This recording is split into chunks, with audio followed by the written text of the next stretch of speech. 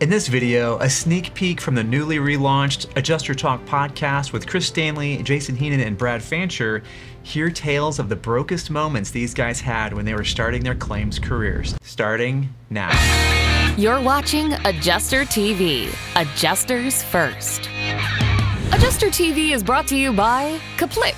Learn all about E&O and other insurance for adjusters at cplic.net slash adjustertv. And by the National Association of Catastrophe Adjusters. Joining NACA will provide you with the resources you need to build a lasting career as a claims professional at adjustertv.com slash NACA and by Adjuster TV Plus. Get unlimited access to a growing library of the best adjuster training videos created by the most trusted name in claims, Adjuster TV, at adjustertvplus.com. Hey, Matt here, and welcome to Adjuster TV, where we help you build a rewarding career as an independent insurance adjuster so that you can help people during natural disasters and earn a great living doing it. In this clip, our panelists answer the question What was your brokest moment as an IA?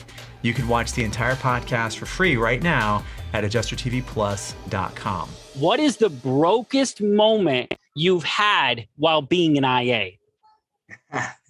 Oh man, Chris, there's so many times, uh, especially at the beginning of the career. You know, um, at the beginning of any career, it seems like you should be no stranger to being broke. It's never easy.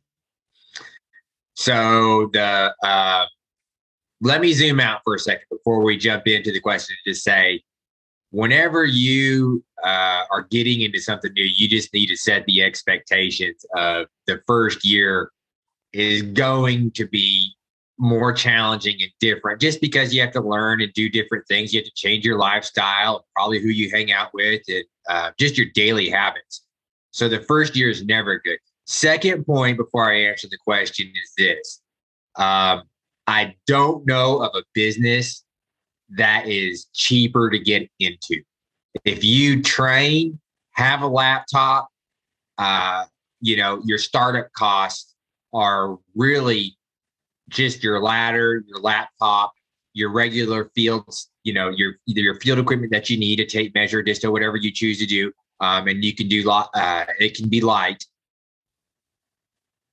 There's not a better career to get started on, is what I'm saying. So the answer is I was broke when I got started, no doubt about it. And the brokest I was was in 2006. Um, I had I released myself, which was a mistake from a Hurricane Rita in 2005, and took three and a half months off.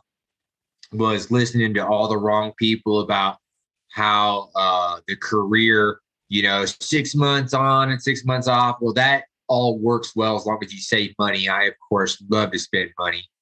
So, um, was super duper broke, living in Texas, had not worked in three and a half months was on unemployment and searching. Got the call that uh, in 2006 to go to Seattle, and um, the car broke down. Wouldn't you know it? On about the hmm. fifth inspection, the whole motor had to be replaced. So I had to borrow money uh, from two different people. One to get the uh, automobile, uh, you know, the motor replaced, and two to afford the motel room.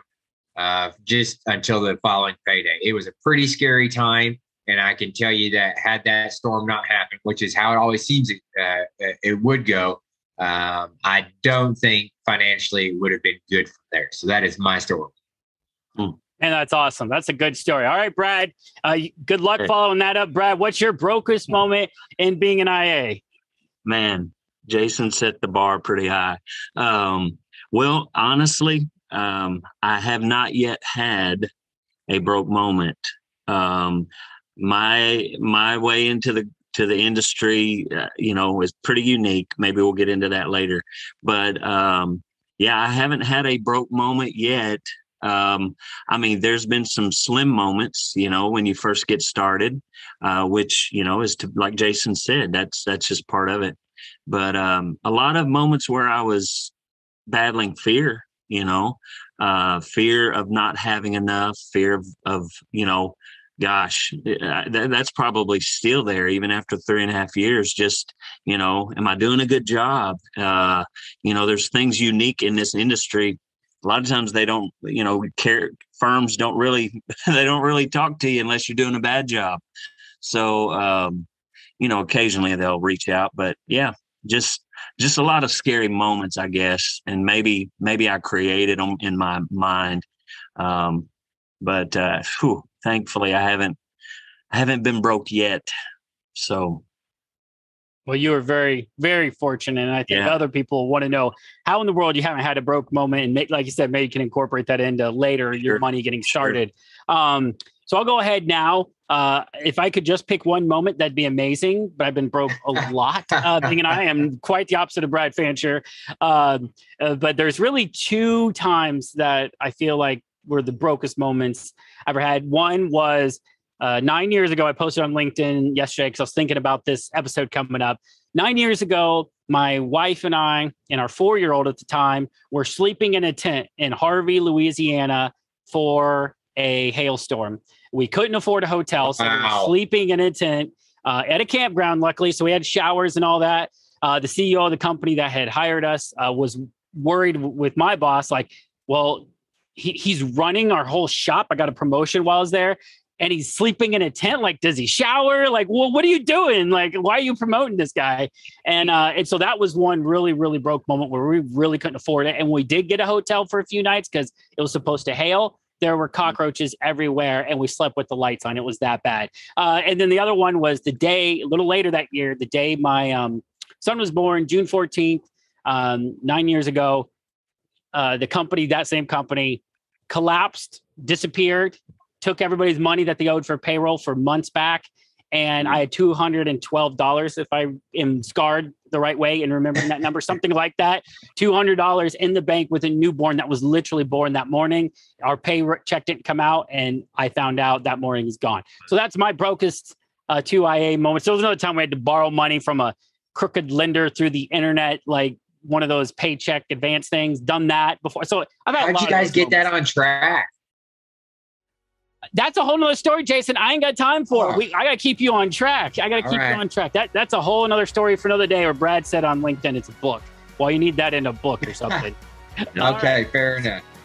All right, we're going to transition now. To, so now you guys hear that we know what we're talking about to some extent about being broke and money, and uh, we've been through it. We've been through the gamut between the three of us. And so the real question today that we want to answer for you is how much money does an IA need before getting started? Get this question answered right now by watching the entire podcast for free at adjustertvplus.com. And thank you so much for watching and have a great storm. Adjuster TV. What doesn't kill you makes you stronger. Except for bears. Bears will kill you dead.